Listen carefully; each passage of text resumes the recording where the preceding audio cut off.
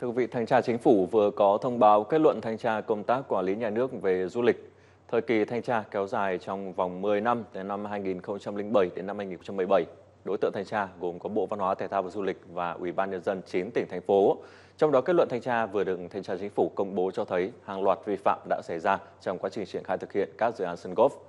Cụ thể các dự án có tên trong kết luận của thanh tra chính phủ gồm dự án khu tổ hợp resort Sông Giá ở thành phố Hải Phòng, khu quần thể sân golf và các dịch vụ đi kèm của công ty cổ phần Thiên An, khu du lịch nghỉ dưỡng sân golf Lăng dự án sân golf Indochina Hội An, tỉnh Quảng Nam, dự án khu du lịch nghỉ dưỡng và sân golf cao cấp My House Hội An, Quảng Nam,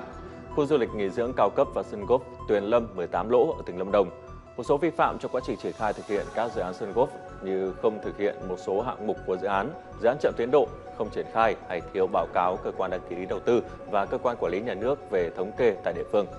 Các nguyên nhân đến từ cả nhà đầu tư, dự án sân golf lẫn chính quyền các địa phương có dự án.